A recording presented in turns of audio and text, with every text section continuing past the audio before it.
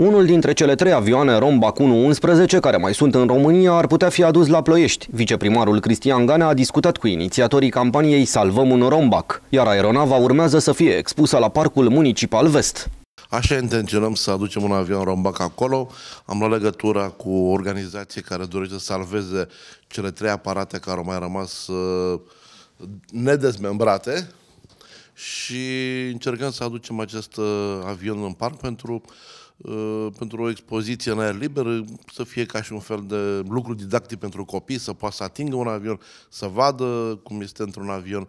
Cred că ar fi un obiect de interes foarte bun pentru acest uh, parc municipal. Deoarece parcul este amenajat cu fonduri europene, au fost făcute demersurile pentru a obține aprobarea necesară de la Ministerul Dezvoltării. Viceprimarul spune însă că aceasta va fi doar o simplă formalitate. Rombac 111 este primul avion de pasageri cu reacție produs în România după o licență britanică. În prezent mai există trei astfel de aeronave. Campania Salvăm un Rombac, susținută de Aeroclubul României, urmărește achiziționarea și amplasarea a două dintre ele în spații expoziționale, astfel încât acestea să nu ajungă la fier vechi.